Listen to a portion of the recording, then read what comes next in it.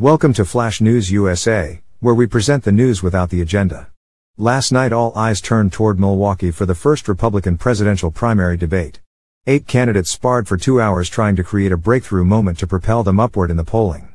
Former President Donald Trump was notable in his absence. Without him on the stage, the other candidates all appeared like the undercard on a boxing match.